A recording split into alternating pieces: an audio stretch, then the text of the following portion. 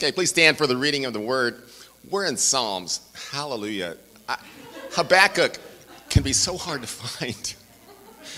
you always know where Psalms is, dead center. So, Psalms 1. Hope that's not yours, Bart.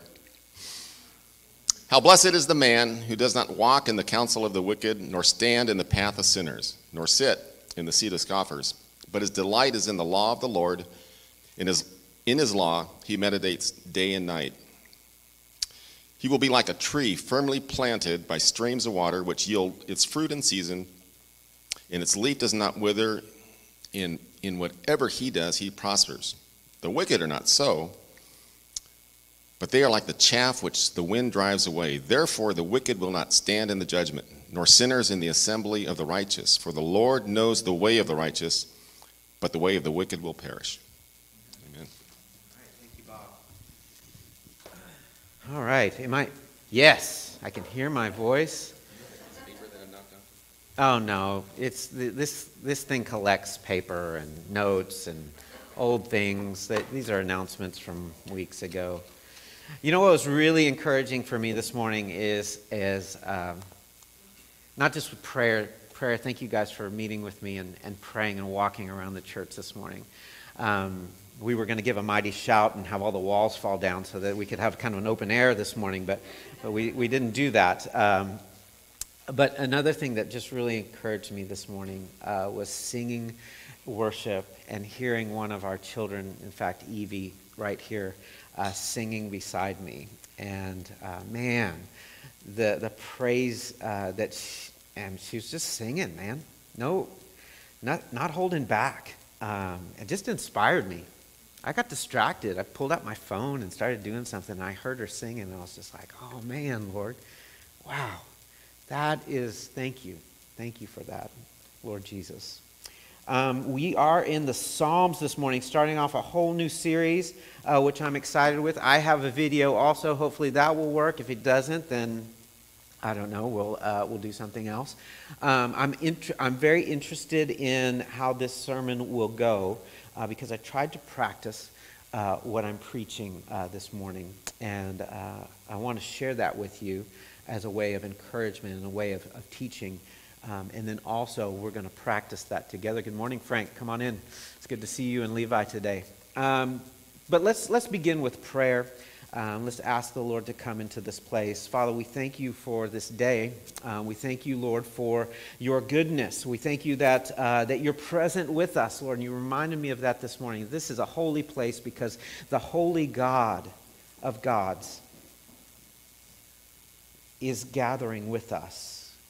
As we gather, Lord, and we know that you reside within each one of us who believes in your name, who's given our faith uh, uh in, in Jesus.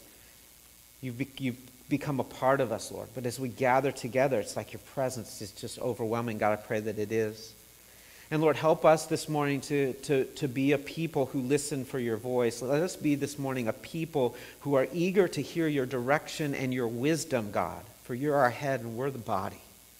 We want to go to the places where you want us to go. We want to do the things that you want us to do. We want to be the people who you call us to be.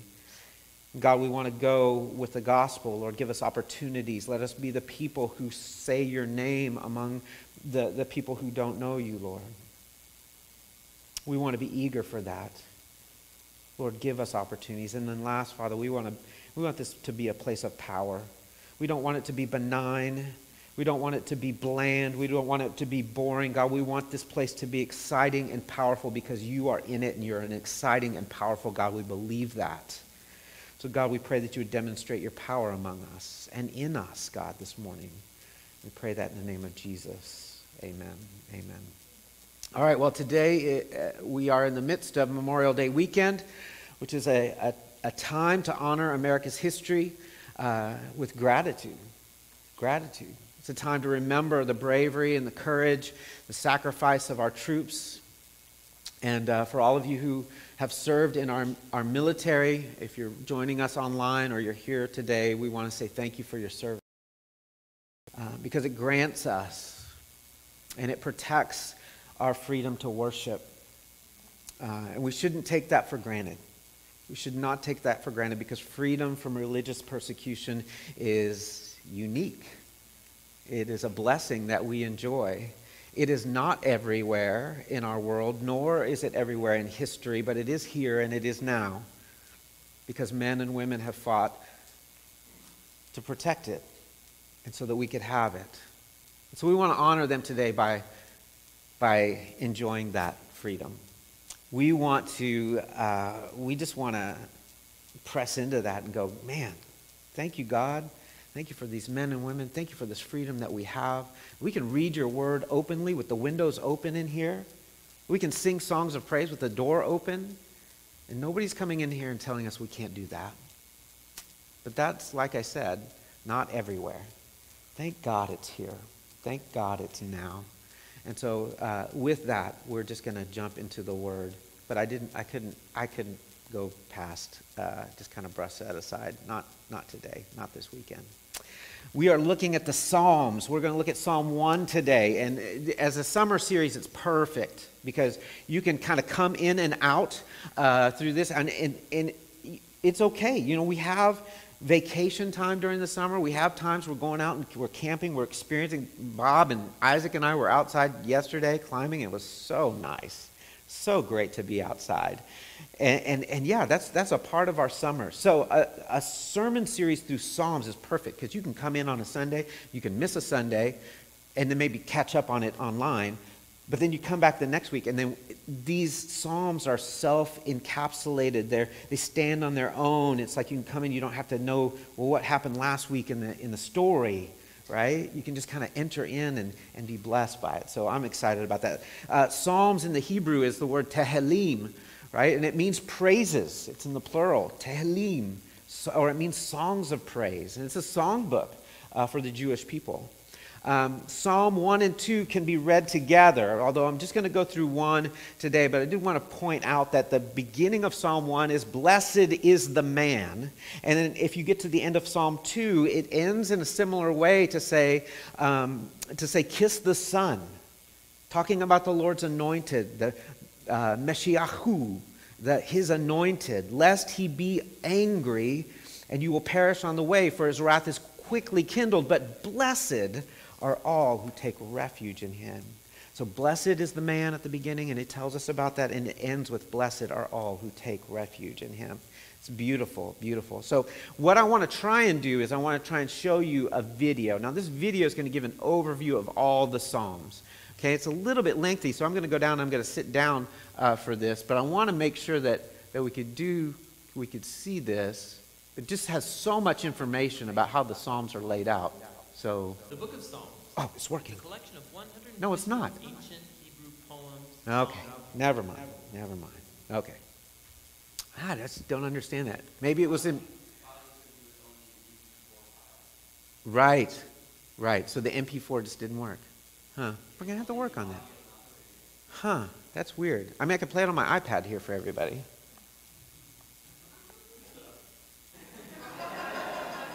You could do that. It's kind of small.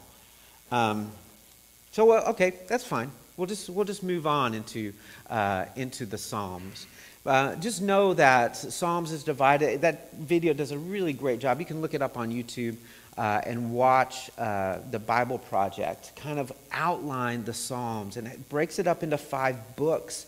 And it shows these themes that kind of go through this lament and praise. And it's just really, really cool to really understand as you read through the Psalms what is all about and how it's divided up. And I'm going to, we'll figure out this video stuff uh, later. Um, but Anyway, let's, let's jump into our text. What I'm going to do is I'm going to do a little bit of exposition here. I'm going to, going to look into uh, the psalm uh, just kind of verse by verse, and then, and then we'll see where, where we go from there. All right, Psalm 1. Psalm 1. Blessed is the man. And Job, did you say just go to the middle, right, Bob?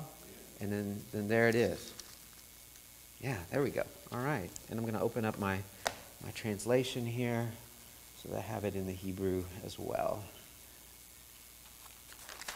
There we go.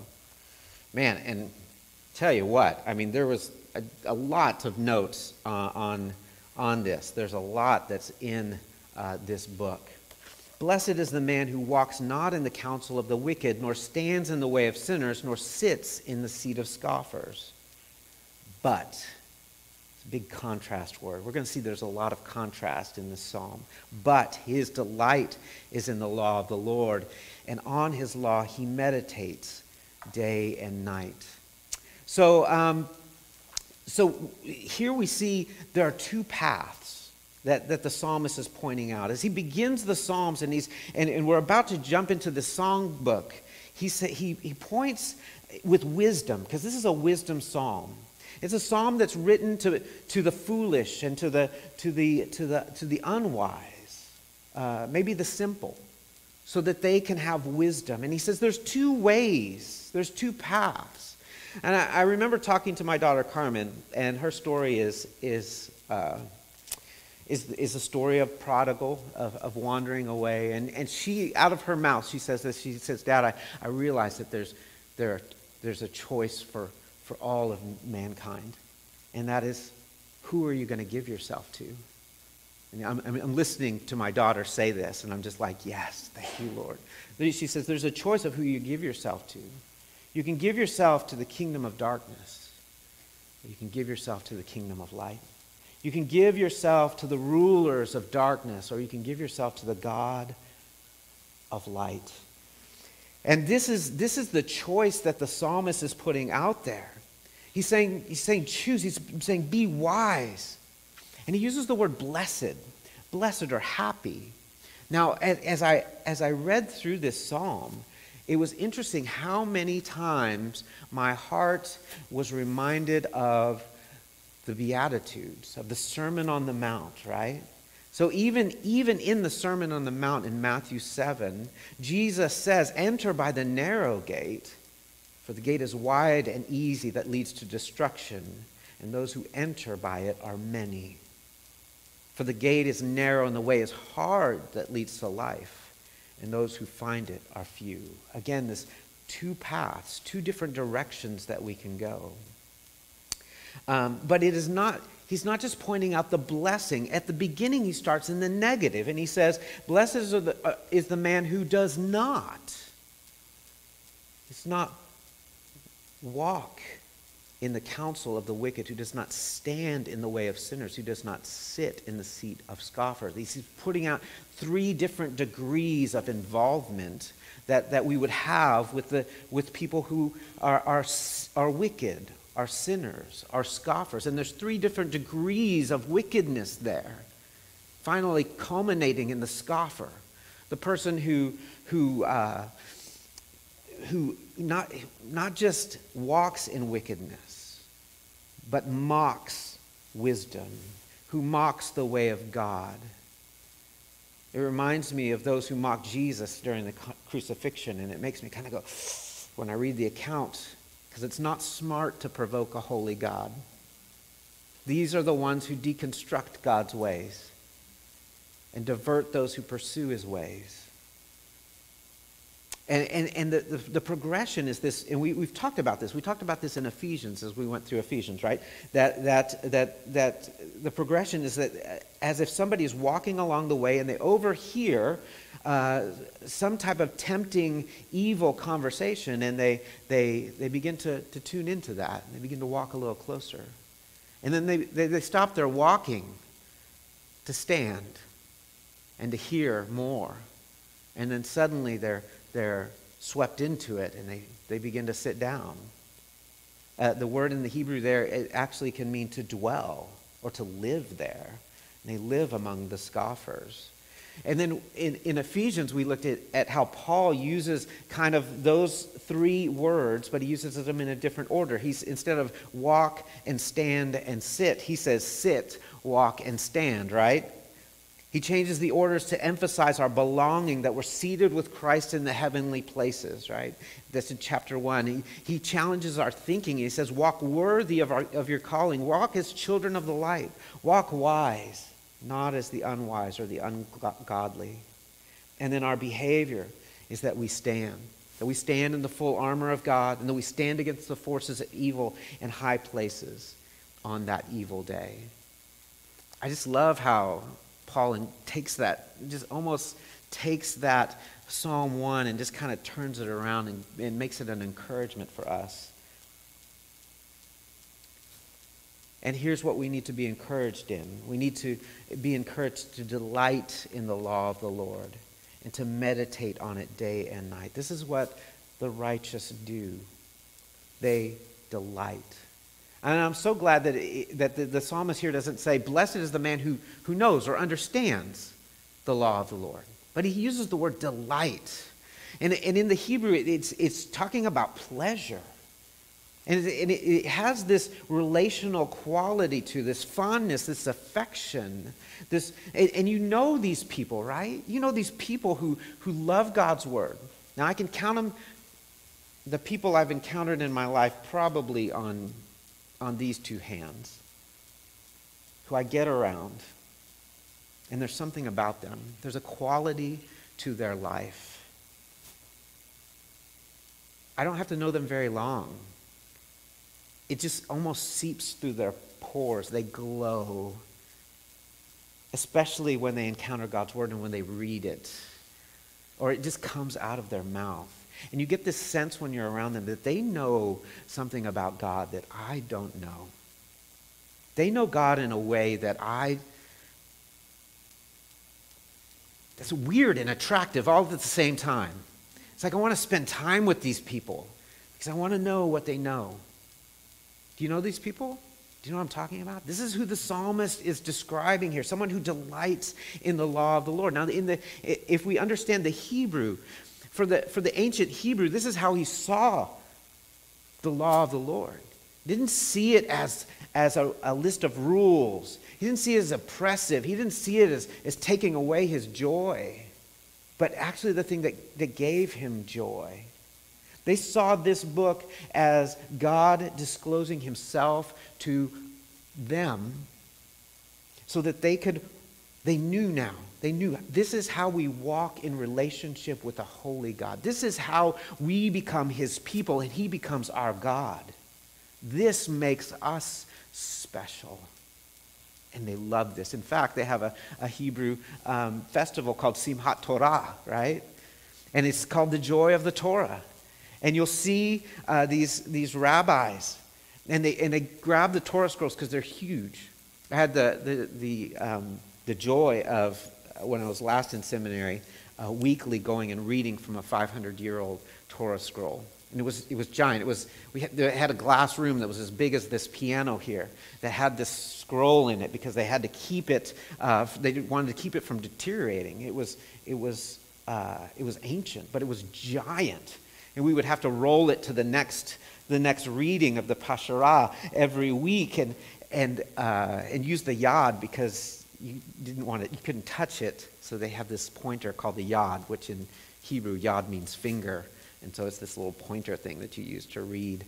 Uh, but they dance with these giant scrolls, right? They put them in these big cases and they're just lugging them around and dancing because there is joy for them in that. Joy. That's a little bit crazy for us. Well, we could try it. Dance around with our Bibles during worship. I don't know. Let's, uh, let's, let's move on. Let's, uh, I want to keep, continue to kind of get into the exposition here. He is like a tree planted by streams of water that yields its fruit in season. Its leaf does not wither, and all he does, he prospers. The wicked are not so, but they are like chaff that the wind drives away. So there's this picture that I found, and it's almost the perfect picture. All right? Doesn't it look peaceful? Just want to be there. Um, that it would be, it's almost perfect because there's no, there's no fruit on the tree. Um, and so I wanted to find a fruit tree that's in that location looking like that. Uh, but I couldn't find that. So I got this one right here. And, and it, but it does illustrate, and it does give us a picture of what, what it looks like for the righteous person this is, this is what we are to be. We're to be like a, a tree who's planted by streams of water. Now, this is, this is where I get really excited, okay? Um, because as I read this passage and I, and I get into the, the grammar of the Hebrew, these, these words are, this word planted is passive. The word for planted is passive. It means the action is happening to the subject. So it's, I don't plant myself here. This is where God plants me. Isn't that beautiful? And it's, and it's not just by a stream of water. In the Hebrew, the, the word is for an artificial water source, it's a canal. So it brings this into my mind this idea of a garden, that God has prepared a place for me to dwell.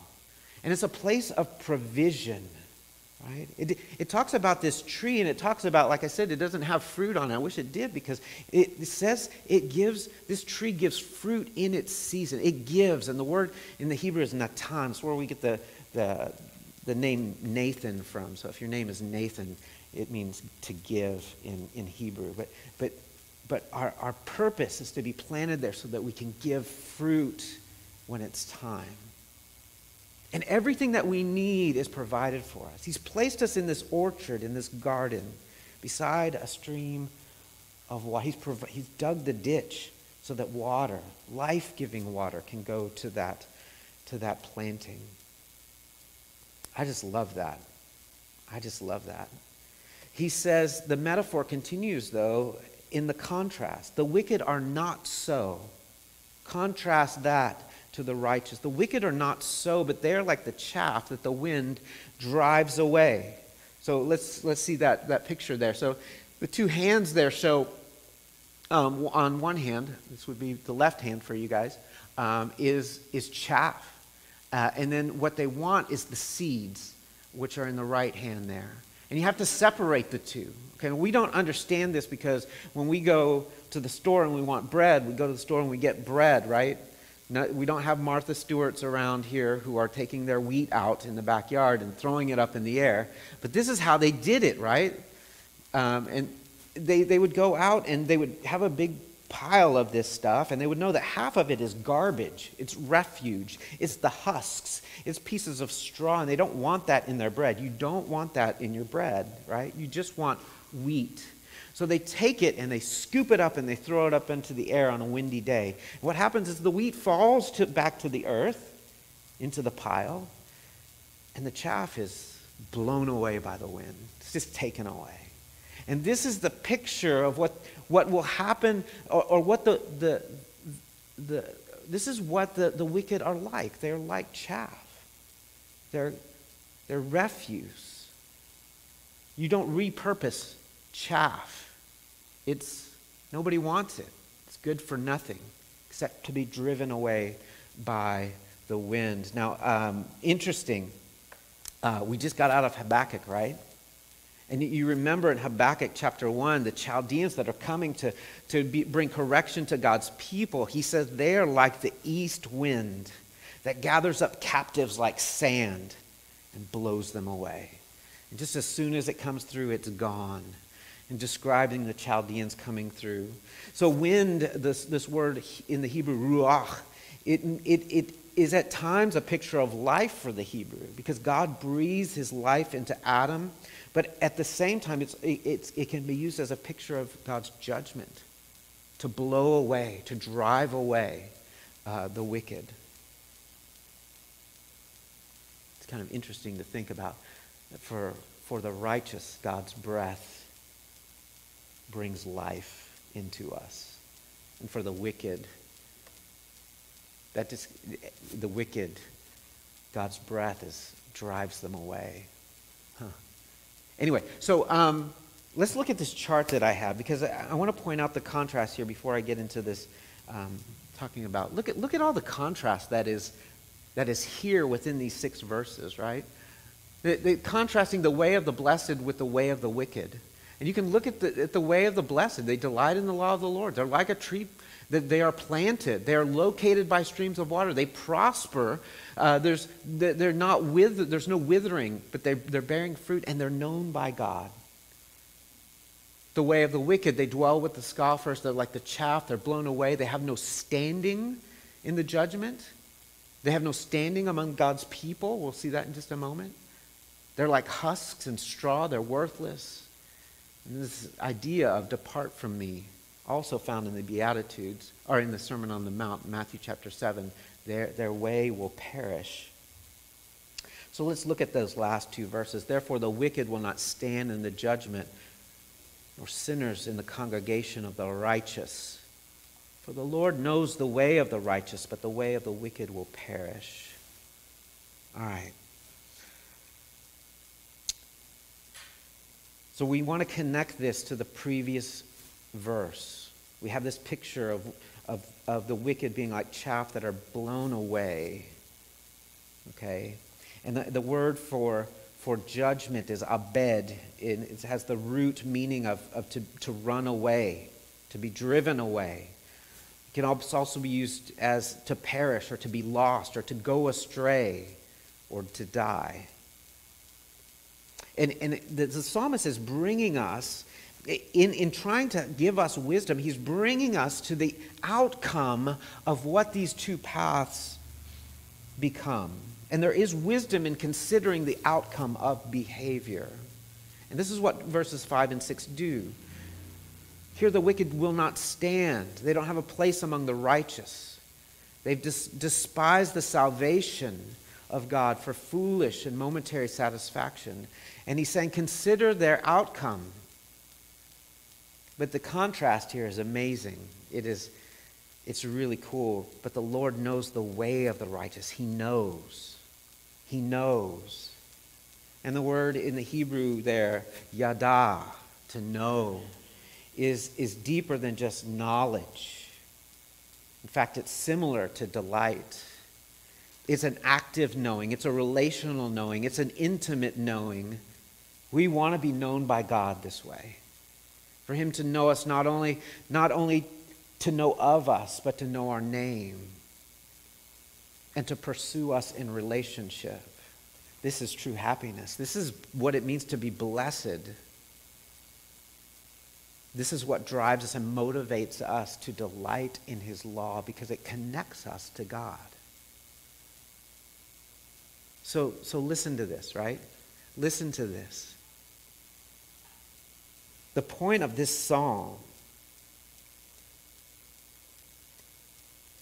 is to get us to a place where we receive the living water. We receive what is provided for us. And he's trying to be very careful to show us that there's a way where we don't do that. Where we're in all the right places, but there's no life right? We want to be a people who delight in the law of the Lord. How do you get there? How do you become that? Okay? So, what I did this week, um, starting on Friday, I had all my notes, and I'm leaving out some of this right now, which is great. Um, so, I did all my study, did all my translation work, right? Made lots of notes here. It's all good stuff, very good stuff. But I, this, this was the knowing for me. This was cerebral, right? And so then, but I want to I want to live out this verse. I want to put it into practice. I want to delight in the law of the Lord, and on it I want to meditate day and night. And the word in the Hebrew for meditate is, is to growl, okay? There is a vocalization to this.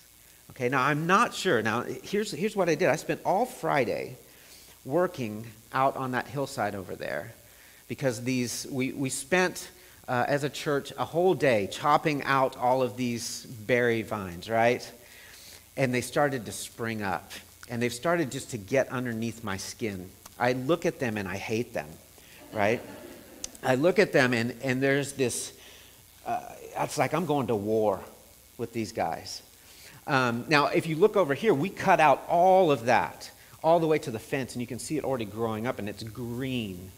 And it's driving me crazy, okay? I can't deal with that, but I can deal with this hillside in front of the parsonage because I look out the window and I see it. So I spent the day digging them up, pulling the roots. As you pull on the root, it just sprays soil all over your face, right? But I'm going to war. I'm just like, I'm, I'm, I'm in this, right? And there was some growling that was happening. Okay? Now, this vocalization, I began to think about this and, and, and wonder about that. What does it mean so that we that we meditate. Is it the own you know, you empty yourself and allow just everything, every demonic thing to pour into you? Or, or, or is it is meditation for us that, that we go with already something? We're already full and we want to we want to we want to turn it over. We want to roll it around in our mouths. I mean, it may be that, that as you read the, the scripture and you say, Blessed is the man who, wa- who walks not in the counsel of the wicked. Mm, mm-hmm. Mm-hmm. Yeah, maybe some of that, you know. Uh-huh. May, you may get an amen, you know. It may just come out of you because you're responding to it. I think it's more than that, right? I think there's a, it's not just growling, but to mutter under your breath. It's the idea. That we're kind of talking to ourselves. I used to get in trouble for that when I was younger. People would go, Are you talking to yourself? And I'd be like, uh, No, but I was, right? I was ashamed that I was doing that. Like it was a bad thing. But now I'm getting to the place where I'm like, No, that's not such a bad thing. So I'm out there and I'm digging up these berries and I'm pulling them up. I'm going, Lord, what does it mean to, how do I delight in the law of the Lord? How do I meditate on it day and night? And this is good because I can, I can do this. This is my meditation, God. I, I don't have to think. I can think about you as I do this and go to battle and work hard. And I'm thinking about this and I'm thinking, I'm preaching to myself. And I'm thinking, and he's bringing things to mind. It's like, well, it's, maybe it's like gargling, right? we gargle, you know, sometimes to, to, to get something into all the places in our mouth, right? Maybe it's like that. We're taking the, picture, right? It's kind of like a metaphor, like he's talking. We're trying to get it all into our mouths. Maybe the Word of God does need to fill our mouths. So it's what comes out when we speak, right? Maybe that's it. And then I thought about people who, who drink wine and they're like really good at it, right? they drink wine and they're not just chugging it, right? They're like savoring it. It's like they're sipping it, and it's and they're just and they're like lost in this wonder of of what they're tasting, right? And they're describing things that I'm like, it just it's just wine, right? And they're like, no, it has these has these dark tones to it. It has it's nutty. It has this fruit fruity. Can you taste the can you taste the the, the chocolate hints in there? And I'm like, no, I it's just I, am sorry, I just chugged mine. Uh, was I supposed to taste that? You know? And these are, these are people that we like, when we go to a fancy restaurant, we're spending lots of money, we want them to come to our table and go, tell us what, what wine goes well with this, you know? I, I, I, want my, I want my meal to like be this experience that's so full and it's like beyond what I can, I, I want to remember this, right? These are special people. I tried it actually uh, uh, Friday night. As some friends, uh, they don't go to seed, but maybe they will someday. Um, and, and uh, he said, "Well, what would you like to drink tonight?" I was like, "Oh, I've been thinking about this all day. Do you have any wine?" I want to just, I want to experience this, you know, as I'm thinking about the Word of God. And, and, and, and, so I want to just feel like that. And, he, and he's like, well, would you like anything else? I goes, do you have any espresso? He's like, I do. It's perfect. It's a little tiny cup. And I'm just like, mm, and just experiencing it, right? Letting it roll around in my mouth. Okay? Don't get too far into my talking of wine and espresso. We're talking about the Word of God here, right? That we want to, we want to, to taste and see that the Lord is good. I, I like this, uh, this, um, this, oh, where is it? Lord, where'd you put my, yes, ha ha ha. Kristen gave me this quote from Charles Spurgeon. You know how much I love Spurgeon. He says, Not by the hasty reading of the word, but by deep meditation, we profit by the word of God. Not by hasty reading, but by deep meditation, we profit by the word of God. Think about that. I think he was thinking about Psalm 1. What does it mean to profit? In all his ways, he succeeds. In all the way he, he prospers. Is this some kind of wealth, health and wealth, uh, prosperity kind of teaching here? Actually, in the Hebrew, that, that means that, that, that he, he accomplishes what was intended. And what was intended, he was planted. Why? So that he could give fruit. He is going to bear fruit in its season. He's not going to wither. And everything the reason for being where he is is going to be accomplished. It is not about getting money or wealth. It's about getting God. Isn't that beautiful? Now, so I'm thinking about this, and I'm thinking about, and I'm pulling these, these, I'm just, Lord, what are you teaching me here? Why am I doing this, God? This is pointless. I mean, in a week, these things will be back, right? And he says, Blessed is the man who does not walk in the counsel of the wicked, nor stands in the way of scoffers, nor sits in the seat of scoffers. And I went, Oh, this is not an easy thing to do. This isn't easy for me not to do this, not to listen to the counsel of the wicked. It's not easy for me not to stand in the path of sinners. It's not easy for me not to sit in the seat of scoffers. I think I, I, I've read this in the past and just thought, well, you just don't go there, right? You just avoid that guy. You just isolate yourself. This is easy. I just don't do this. I don't read those books. I don't watch those TV shows. But it's much more invasive than you or and I could ever imagine. And as I'm pulling these blackberries, I'm going, it's like these, they keep coming back. And I want to pull them up by the roots and I want to get them out. See, it's not hard for me to be selfish. That's not a struggle. It is not hard for me to believe a lie. It is not hard for me to be lazy. I do that naturally. It is not hard for me to be rebellious. It is not hard for me to love sugar. I just do. It doesn't matter what kind of sugar it is. There's something natural in me that just has a tendency towards that.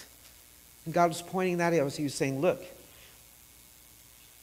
He says, You got to go to war with this, Bart. Just like you're going to war with these berries. When you see them spring up, you got to be quick. Grab them by the throat and rip them out. Because that's what your enemy is doing. That's what he wants to do. You're a tree planted by streams of water. How is he going to get to you? He'll try and rip you right out of there. And he's not as environmentally conscious as you are, Bart. He's okay using crossbow and poisons. And he's going to inject that right at the root.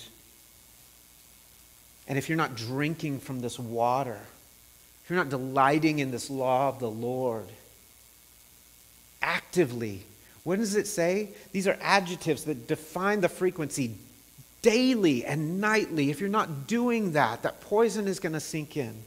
And your only hope is to, is to drink deeply from this stream of life to dilute the poison.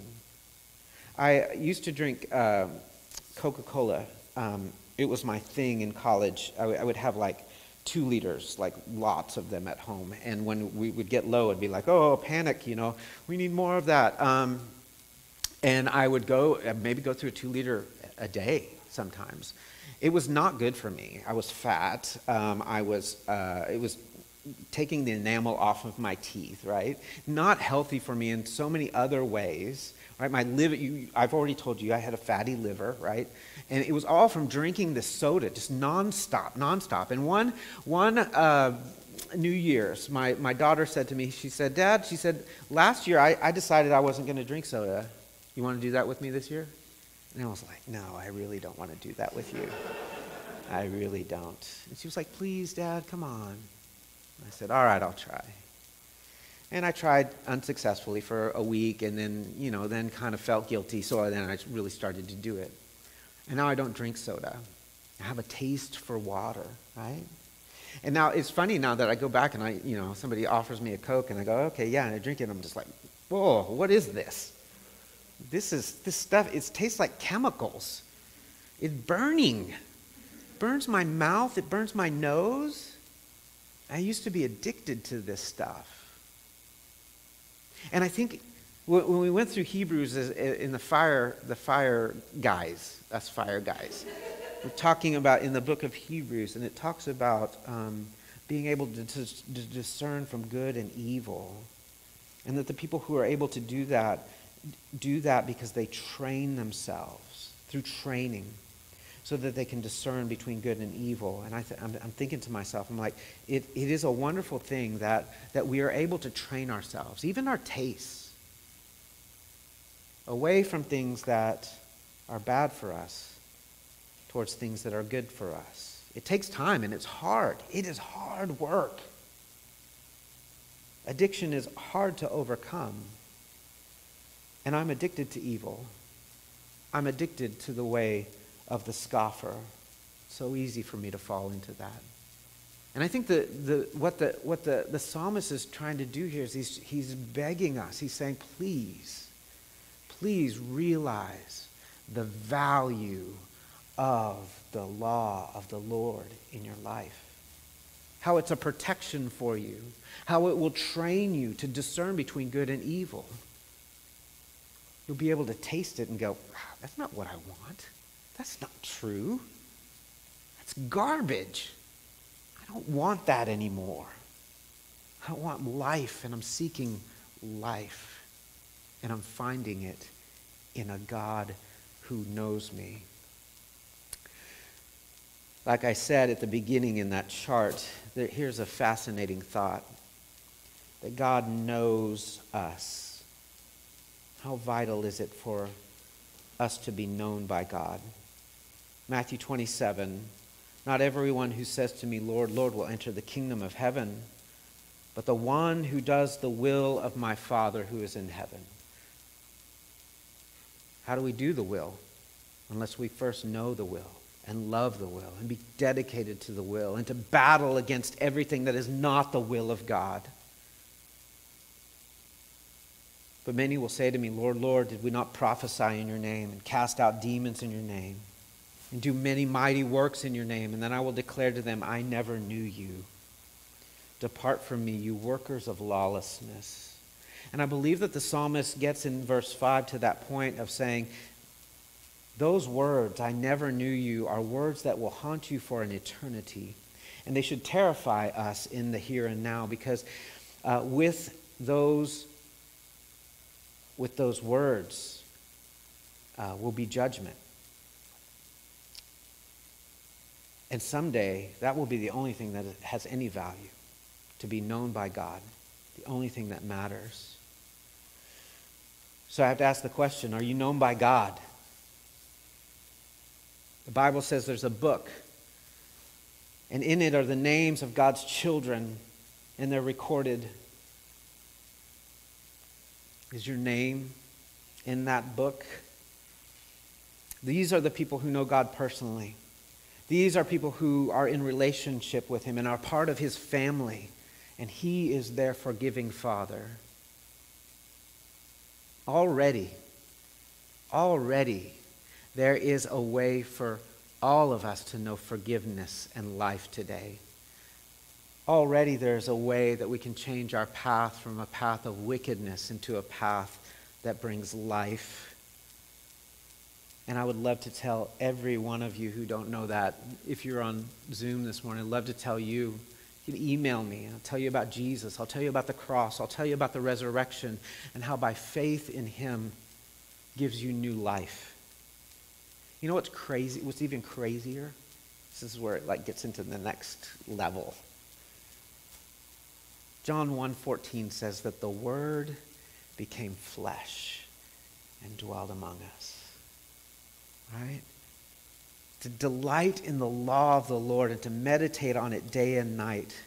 And then there's a part in here that says that God's revelation of himself and the way that we can walk in relationship with him actually became flesh and blood and became a real life person who came to further show us forgiveness, who came to further show us how to walk with God, who came to show us what life really means.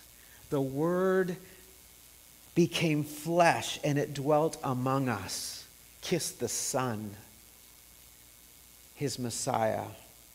Blessed is everyone who finds refuge in him. The end of Psalm 2. But he did this so that all who would receive him, all who would believe in his name, would be given the right to become children of God. And it's all right here. What a gift. He's given this to you and to me that we might know him.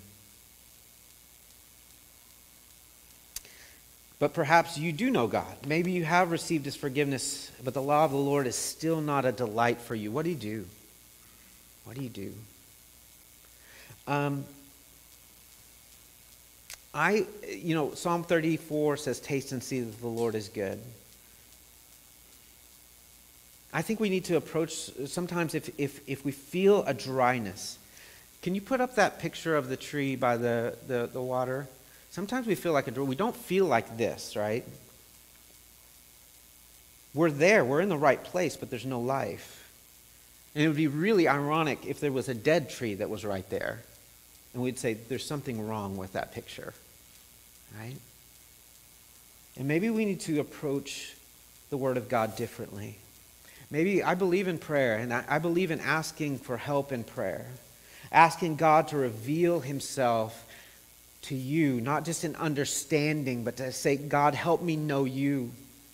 Let this word feed my soul. Let this be a relational experience because I need to hear your voice speaking through these pages. I need to know, I want you to become familiar with your voice in this world.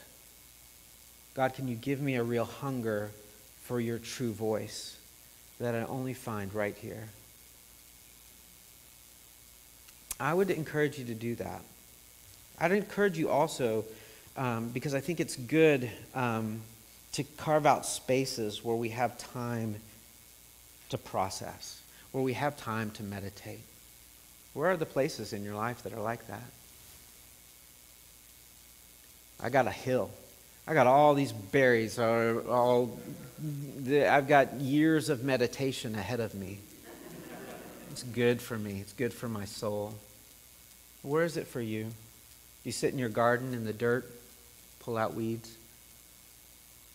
You have empty spaces in your life where you're not turning over the Word of God? You're not letting it get into your mouth, swishing it around, experiencing the fullness of it? I'd encourage you to do that. I think that for us today, the psalmist is encouraging us to drink. You can take a tree to water, but you can't make it drink. And we want to be happy trees, like Bob Ross paints. Trees that have life, trees that give fruit. I love, uh, and I'll end with this Isaiah 61. God calls his people a planting of the Lord, calls them oaks of righteousness. Man, my heart and my desire as we listen to this word this morning is that that's what we become, Seed Church. Oaks of righteousness, planted, drawing life from the word. That's why we're reading the word together. It's not boring. First, First Chronicles is hard, but it's not boring, right? We want to draw life from it together.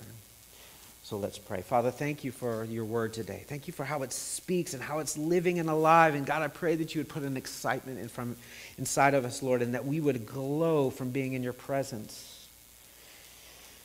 Maybe that's a supernatural glow, Father, but maybe it's just a glow of joy and a smile on our face, God, because we're turning over the Word of God in our minds and we're not allowing the world to come and influence us with its ad campaign of wickedness.